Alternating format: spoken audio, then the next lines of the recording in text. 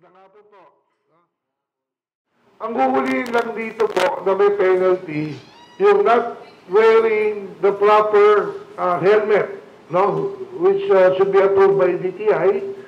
And number two, yung naka-slippers and walang, yung nakapaa, no? Walang slippers talaga, nakapaa, no? Sir, magkano ang penalty doon sa mga mahuhuling walang sapatos? Okay, yung nakasinelas o yung nakapaa is 500.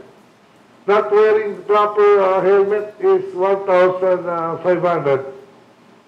Pero may suggestions po ang LTO sa mga groups, no? Kung paano magiging mas safe ang inyong pagmamotor. Nakalagay po dito, protective devices shall include helmet, goggles, leather boots, and protective clothing such as heavy pants, heavy jackets, leather gloves, and rain suit. No?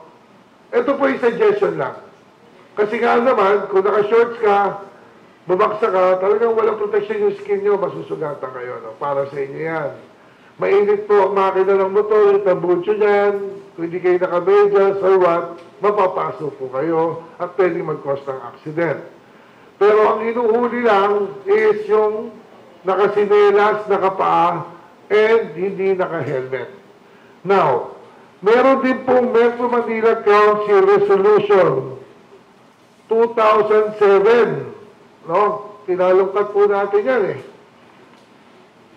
Lahat po ng motorsiklo na bumabaybay po sa Metro Manila, kailangan nakabukas ang ilaw, ang headlight, ano? So, ang first offense po niyan, 150 pesos ang fine, second offense, 300, and third offense, 500 plus 1 month suspension ng driver's license.